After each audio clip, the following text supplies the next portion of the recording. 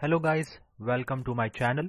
So in this video we will learn celestial navigation part 2 and this is very important video because I, I have will I will cover a lot of important things in this video.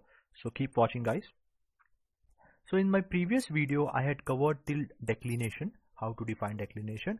Now in this video let us start with other topics that is GHA, LHA, SHA. So basically GHA or all any hour angle they all are taken measured from the celestial pole. Always remember this. They are always measured. They are the angle at the celestial pole. Or they are the arc at the equinoctial. Always remember this. Now as the word suggests Greenwich so let me take a celestial meridian which is passing through the Greenwich uh, location on the earth.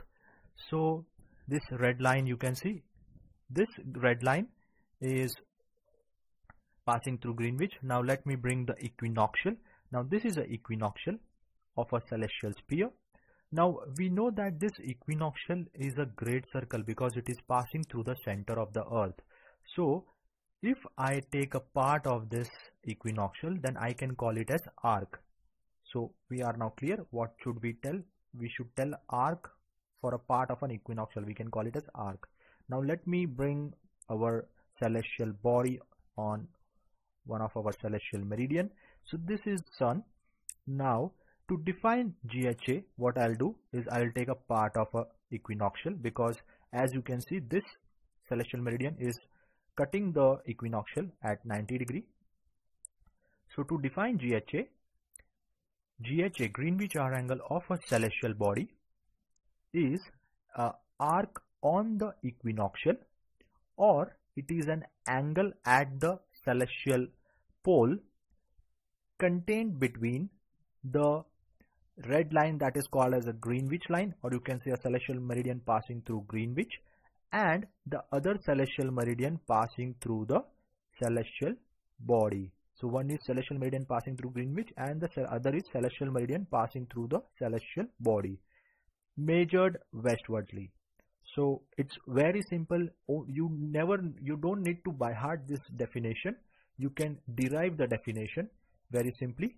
It is a arc of the equinoctial or the angle at the celestial pole contained between the celestial meridian passing through the Greenwich and the celestial meridian passing through the celestial body measured westwardly.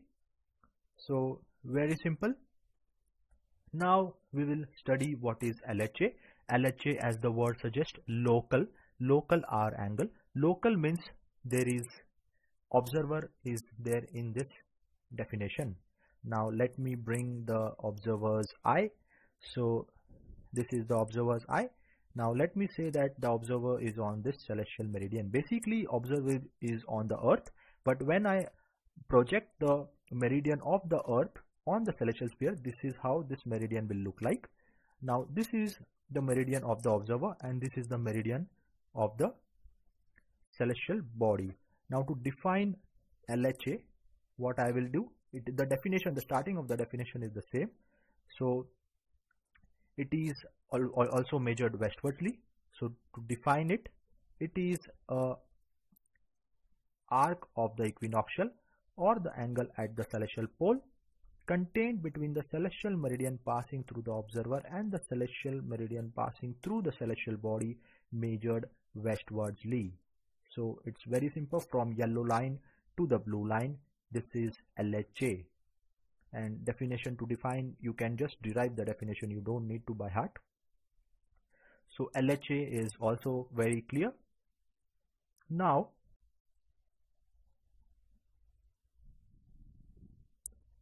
So now after completing LHA, now we will understand what is SHA. But before understanding SHA, we should understand what is first point of Aries and first point of Libra. So we will first focus on first point of Aries. Now this equinoctial you can see, this is a 2D diagram. Now let me make this equinoctial as a 3D. So this is how it looks like as a 3D. It is a great circle.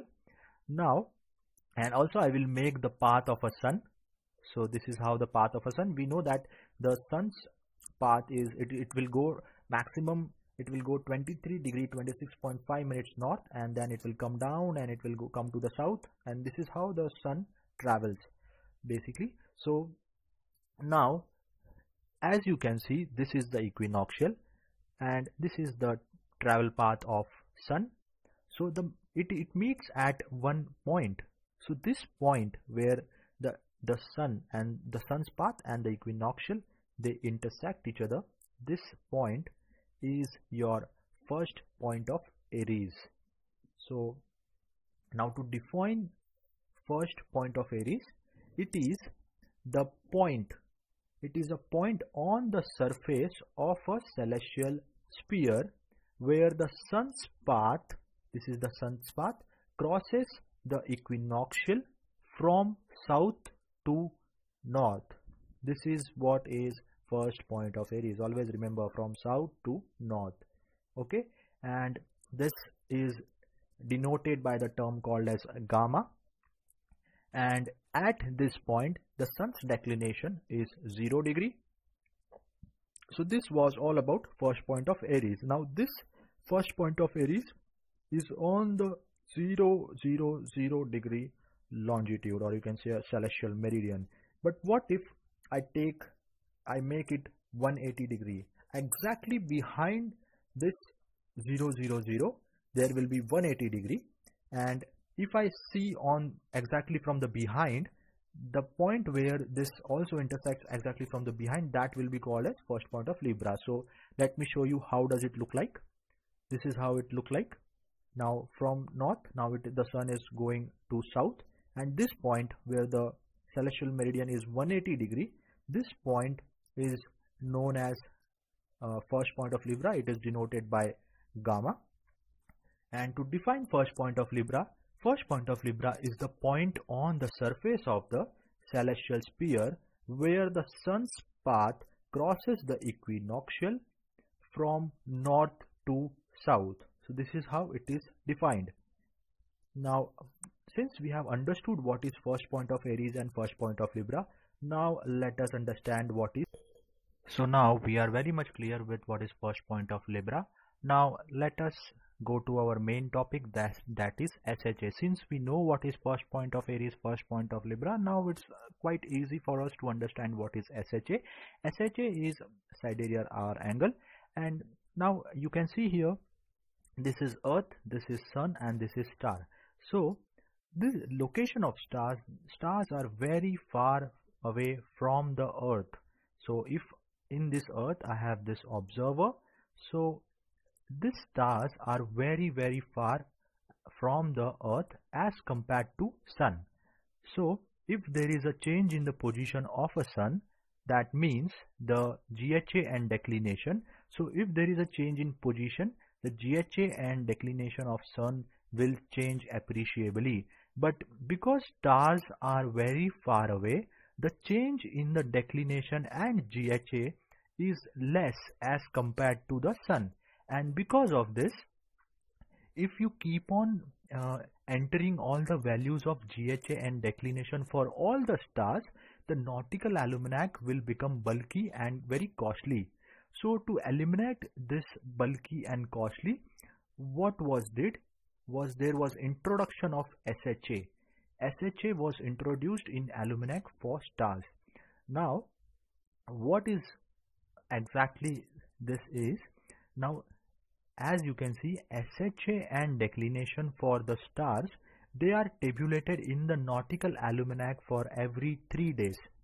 Because the change is less in the star's position, that is why they have not calculated for every hour every day they have calculated for every three days and they have taken only one star whose GHA they have taken for every day and every hour of GMT. So with the help of one star, we will be able to derive the GHA of all the other stars. So this will make uh, it less costly and it will make it less bulky. So this is the reason why SHA was introduced because of the stars. So as you can see in this nautical almanac, GHA of Aries it is for every day, every hour of GMT. But rest all stars you can see only SHA and declination are given and th all these stars for this all these stars they are for only three days 17 18 and 19 so you can see this all are for total three days and GHA Aries is for every day every hour of GMT so now we are very clear. So now let us define what is SHA so the definition starting is the same. It is a part it is a arc of an equinoctial or it is an angle at the celestial pole contained between the celestial meridian passing through the first point of Aries and the celestial meridian passing through the star. So previously it was sun but because it is SHA that is why I have taken uh, star. So definition it is very clear and it is measured westwardly so once again i will define sha sha of a star is the arc of a equinoctial or angle at the celestial pole contained between the first point of Aries or you can say celestial meridian passing through the first point of Aries and the celestial meridian passing through the celestial body or celestial star or whatever you can tell measured westwardly so this is very much clear to us. Now let us see how with the help of SHA we can get GHA of any star.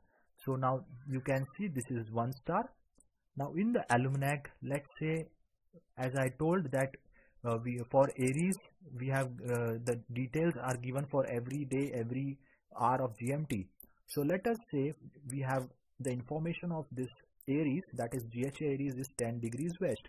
So in this diagram, this if this is 0, 0, 0, then 10 degree west that is towards the left side, this shaded area. So GHA means from Greenwich, GHA Aries, GHA Aries means from Greenwich to first point of Aries. So this area is 10 degree west, the shaded area. Now from the almanac only I can find out the SHA of a particular star. So let's say SHA of a particular star is 30 degree west and as I've told you that SHA of a star means from first point of Aries to that particular star. So this is 30 degree west. So from right from this uh, point to this point it is 30 degree west. Now what do we want need to find? We have to find GHA of star. GHA of star is the main goal of us. So what we what is GHA? GHA of star means from Greenwich to this this meridian that is where the star is lying. So to get this what we have to do? We have to add this shaded area and this shaded area. That is nothing but we have to add GHA of Aries and SHA of star.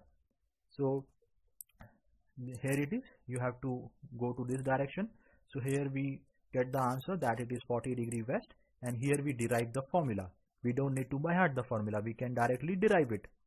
So we are very much clear how we will obtain GHA of star with the help of SHA. So this was it guys. If you like this video, please like, subscribe and comment and tell me how you felt about this video.